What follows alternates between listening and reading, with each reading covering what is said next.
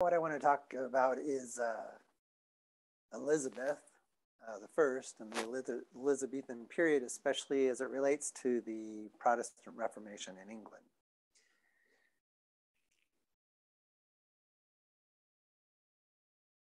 And so after the the uh, death of Mary, okay, um, then we have the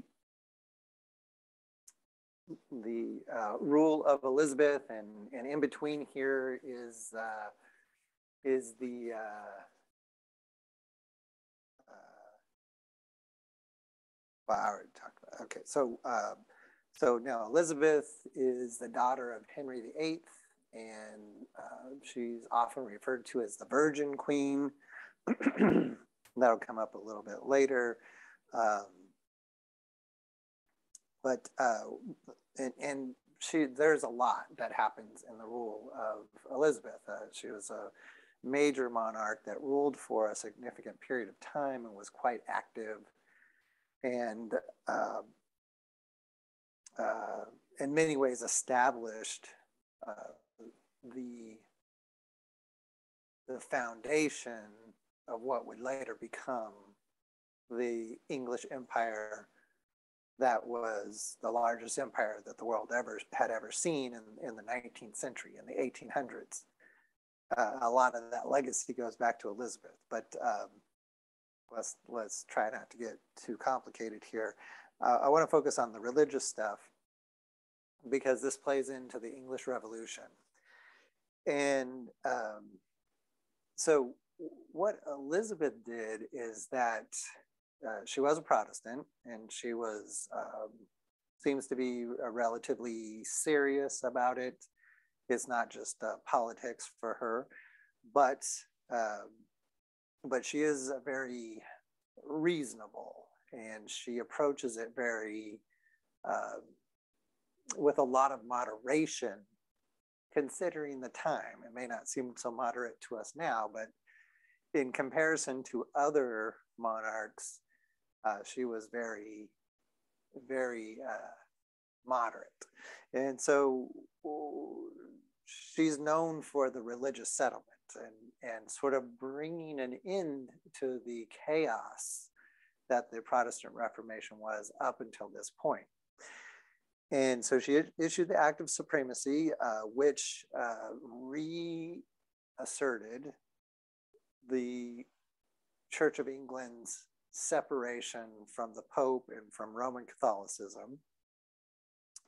And then also issued the Act of Uniformity. And, and this is within the first year of her reign. So, right after she gets uh, on the front throne, she starts getting to work to sort this out because Queen Mary had reignited the, the, the chaos. And so she's trying to like calm things down. Uh, and then she uh, issues the Act of Uniformity. And this is what's really unique about Elizabeth's approach to the Reformation is that she didn't want to convince people of a theological position. She's like, I don't care what you believe, you can believe whatever you want, just in public. The only expressions of religion have to be this way. So just we're going to do these public performances of religion, and everybody's just going to agree that in public, this what do you believe in your in your own mind or in your own home? That doesn't matter. We're not looking at that. We're only looking at what's really out in public, which is, you know, uh, much better than than what was going on, for example, in the Holy Roman Empire, where King Charles was really trying to get Protestants to change their mind and that, that he was some kind of somehow going to legislate uh, uh, you know make it the law that people have to agree with him on theology. That, that doesn't you know that's crazy. Um, so we see a, a, bit of of english pragmatism in elizabeth that uh, goes a long way to solving the problem. There's still a lot of problems as we will see um, she reissues the Book of Common Prayer. Um, and she requires all people to attend church. So you have to show up to church. You don't have to believe what the church teaches, you just have to show up. And you have to be there once a week at least. And lots of people would attend church multiple times a week. And um, so, you know, church attendance and going multiple times a week was was um, very common for Catholics and for Protestants. So all you had to do was just show up once a week, you know, at least most of the time, and nobody would, you know, as long as you just made a showing, you're good. And uh, uh, now, if you were causing problems, you know, you'd be fined, and and there were there were fines. It's like getting a parking ticket. Okay, but they're not going to burn you at the stake and all that kind of stuff. Okay. Um, nonetheless, there were people who strongly re- rejected this approach um, for one reason or another. Um, but it seems to me that one of the one of the reactions was that Elizabeth seemed too bureaucratic and too moderate and not a true believer to many people. It's like if if the Protestant theology is correct, then she should use her power as the monarch to force people to believe. And so you get this reaction that's called the, the, the Puritans. They wanted to purify the Church of England. Um, and and then some of it was just that the clergy didn't want to conform they wanted to run their religious ceremonies in the way that they wanted. And so we do have 14 clergy members that are dismissed, um, and there are arrests and interrogations and fines of people. I mean, when I say arrests, people are are taken in for questioning. They're interrogated, they're questioned, and fined uh, but they're not really imprisoned over long periods of time and they're not tortured. It's not the Spanish Inquisition or anything like that. Uh, but this uh, but this movement of people who just refuse to conform, uh, the London Underground Church uh, lasts until the 1850s. There's some changes that play, take place going into the 1850s. Uh, during this time, though, uh, there's the Foxe's Book of Martyrs. Uh, so there's an author named Foxe. He has a, a, book of accounts of people who were martyrs, martyrs over the centuries in Christianity, going back to early uh, Roman times, um, near the time of Jesus, and and then all the way up until the time of Mary. And so some of the executions, the burnings at the stake that uh, Mary conducted as public spectacles are recounted in Foxe's Book of Martyrs, not uh, in the way that Mary intended, but as a demonstration of how uh, awful Roman Catholicism is and how hateful and despicable Mary was. Okay, so, um, and that's a very famous book. And that book was really famous all the way up um, into the 20th century. Um, I don't hear people talk about it too much anymore, but it was very, um,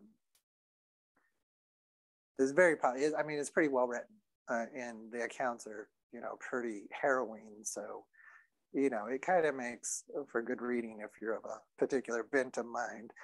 Um, and then uh, the religious settlement continued. Okay, so then later on, 1751, we have the 39 articles that are added to the Book of Common Prayer. This is sort of making the Church of England a little more structured and clarifying the doctrine. And we also have a book called the Certain Sermons or Homilies appointed to be read in churches. So these are like actual sermons that uh, that clergy members could use or adapt to their own purposes. And in the this this 1970s, uh, 1570s version uh, of the the theology, it's a lot more Calvinist in bent than the earlier versions, which were maybe a little more leaning to Roman Catholicism. So there is a change in theology, but it's subtle. Uh, but it is a way of placating and and bringing in the Puritans into the Church of England. So it's a it's a way of adopting and, and, and incorporating Puritans into the Church of England. Another sign of the pragmatism of Elizabeth. You know, she, she's really focused on trying to make the Reformation as unchaotic as possible, as unbloody as possible, and to a large extent did a good job. Okay, um, and then uh, something of interest for us is the last remaining serfs. So technically, in 1574, there's no more serfs. Okay, but up until that point, there were still remaining serfs. Although by this point, obviously, uh, most of the serfs had become um, free tenants, wandering vagabonds, living in the city, you know, or uh, peasant uh, wage earners, you know. So, um,